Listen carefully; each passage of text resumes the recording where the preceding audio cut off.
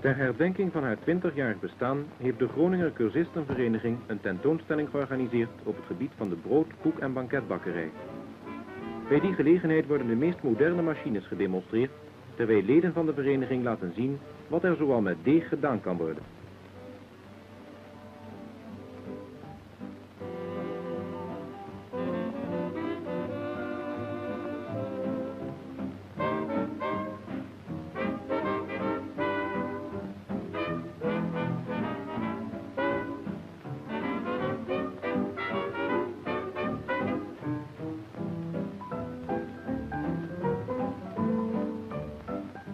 Dat de lessen niet vergeefs zijn geweest, bewijzen onder andere de fraaie taarten.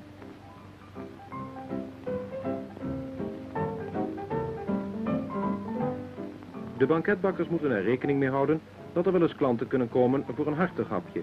En het blijkt dat ze ook op dit gebied voor de beste kok niet onderdoen.